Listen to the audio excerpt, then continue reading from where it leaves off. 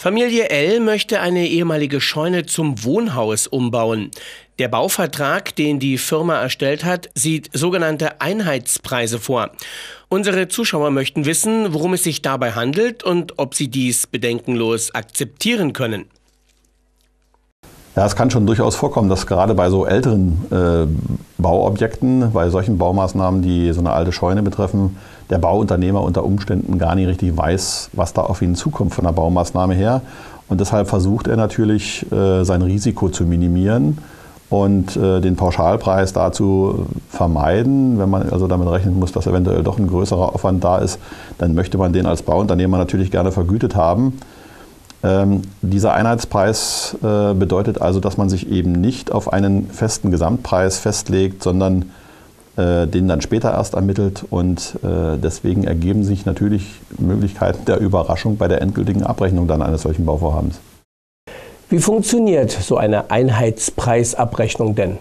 Ja, es werden die Mengen und Massen äh, ermittelt, die da verbaut werden. Äh, beispielsweise die, die, die, Fläche einer Wand, die da gegebenenfalls zu verputzen äh, ist. Und zwar die tatsächliche, wie sie nachher verputzt worden ist, nicht wie es ursprünglich geplant war.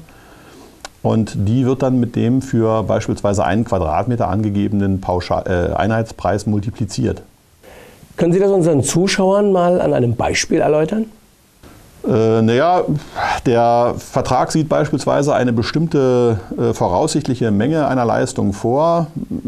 Nehmen wir mal so, Mau so ein Mauerwerk. Da wird angenommen, dass man äh, 200 äh, Quadratmeter Mauerwerk verputzen muss im Rahmen der Sanierung dieses Scheunenbaus. Und äh, weil eben da statische Probleme dann im Laufe der Baumaßnahme aufgetreten sind, vergrößert sich die Fläche der Wände, die dann errichtet werden müssen, um das statische Problem vielleicht zu lösen. Dann sind es eben nicht mehr 200 Quadratmeter, die verputzt werden müssen, sondern 300 Quadratmeter. Und wenn wir als jetzt von mir völlig wild gewähltes Beispiel 10 Euro auf den Quadratmeter äh, wählen, dann haben wir eben nicht mehr 2000 Euro für das Verputzen, sondern 3000 Euro. Der äh, Preis, der sich nach der Einheitspreisabrechnung ergibt, liegt also in diesem Fall alleine für das Putzen um ein Drittel höher als geplant. Und das kann sich dann eben bei anderen Positionen des Bauvorhabens dann schon ein bisschen summieren. Unseriöse äh, Anbieter nutzen das manchmal, das kommt in der Praxis schon vor. Das teilweise sogar bei Neubauvorhaben, wo man es also wirklich eigentlich gut kalkulieren kann, dass äh, Mengen und Massen gering gerechnet werden, damit das Angebot gegenüber den Angeboten anderer Anbieter etwas schicker, etwas günstiger aussieht. Äh, dann wird ein Einheitspreisvertrag vereinbart und äh, am Ende der Abrechnung ergibt sich dann das böse Erwachen für den Bauherren, der dann merkt, dass die Mengen und Massen zu gering kalkuliert gewesen sind.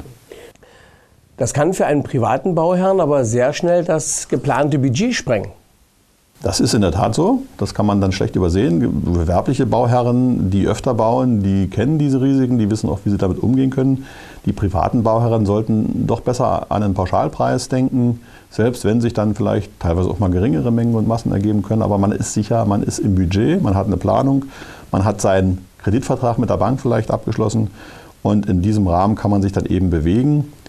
Ähm, wenn das Bauunternehmen die Pläne gründlich prüft und wenn hier beispielsweise ähm, bei der Scheune der Bauunternehmer mal vor Ort geht, da mal vorab Aufmaße macht und äh, ermittelt, was er dort voraussichtlich wird tun müssen, dann kann man solche Risiken auch äh, begrenzen und kann vielleicht sogar dann eben doch einen Pauschalpreis vereinbaren und unser, unsere Zuschauer werden dann weitestgehend vor Überraschungen geschützt. Frage und Antwort. Wir möchten einen Bauvertrag für unser Eigenheim abschließen. Das Angebot der Baufirma sieht eine Garantiezeit von zwei Jahren vor. Ist das korrekt? Das BGB sieht für die Verjährung von solchen Mängeln aus Bauleistungen eine Gewährleistungszeit von fünf Jahren vor.